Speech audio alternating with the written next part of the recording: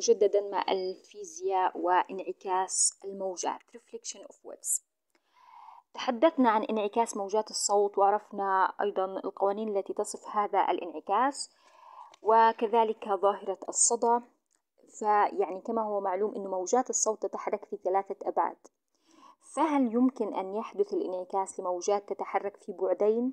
مثل موجات سطح الماء مثلا؟ لنأخذ أمثلة على انعكاس موجات سطح الماء كتجربة لنرى. آه الأدوات حوض الموجات. خطوات نضع الماء في حوض الموجات إلى ارتفاع 2 سم تقريبا ونعلق المسطرة أفقيا بطرف المحرك الكهربائي ثم نعلق الذرة الكهربائية له وذلك الحصول على موجات مستقيمة. كما نرى في آه، هذا المثال الذي يوضح انعكاس موجات سطح الماء. نضع قطعة خشب مستقيمة في طريق الموجات ماذا نلاحظ؟ يمكننا الآن تغيير القطعة الخشبية التي تصطدم بها آه، الموجات بصفيحة. يمكن ثانيها على شكل نصف دائرة ونسجل الملاحظات على شكل موجات بعد اصطدامها بالصفيحة المقوسة.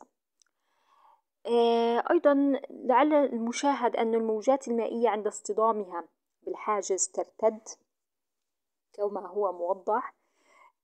ترتد عنه بحيث تتحرك في اتجاه آخر أي تنعكس. وتسمى هذه الظاهرة انعكاس الموجات. آه، هل السرعة والطول الموجي للموجة المنعكسة هو نفسه للموجة الساقطة؟ نعم هو كذلك كما نرى من هذه الصورة. وضح لماذا يكون اتساع الموجة المنعكسة أقل من اتساع الموجة الساقطة. طبعا يختلف لأنه عندما آه، طبعا ينعكس يفقد جزء من طاقته. إذا علمت أن